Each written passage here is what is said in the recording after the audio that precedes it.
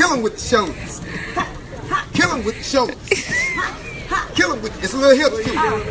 Kill him with the shoulders. Get in there, get in, get the song. Kill him with the shoulders. Yes, Jesus, that's that black people magic right there. See, Little Duval is a hilarious comedian, but he went and created his own dance craze and his own rap song without even trying. Kill him with the shoulders is about to be a new hit record. Mark my words, Jesus. So Yandy Smith posted this video. As you can see, T.I.'s in the background. We got Mimi Faust up in there. And like they're saying, it's the original. I mean, it's everything, right?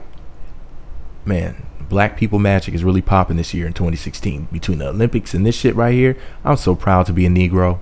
So here's what Yandy Smith had to say about this video. She said, Why? But at Troubleman31, which is T.I., no, he wants to join in. Too much fun in one day. At Mimi Faust, at Little Duval.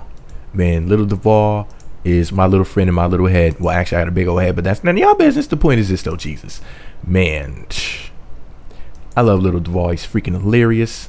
You know, he stays calling out hoes.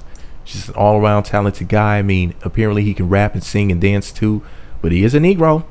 You know, you Negroes are. You Negroes are very creative. So, man, if he came out with an actual song called Kill Him with the Shoulders, I'd be right there in the music video. Harlem shaking it and killing him with the shoulders at the same damn time. And y'all would see me in the video. So, hey, little Duval, if you're listening, I'm famous just like you. And I'm rich. I have $14. So, I'm willing to buy myself into the video if I have to. I'll pay for my own flight, my own hotel to wherever you're at to shoot the video with you. You know, I, you know, I'm not to pay for the video, but if you do a video, like hook me up. I, I know he'll see this because I'm really famous, just like him, like really super famous. But yeah, anyways, this is all my opinion. Let me know what you think about it all below. Be sure to subscribe to the MEET Magazine YouTube channels. Visit meetmagazine.blogspot.com for more and follow me on Twitter at MEET Magazine.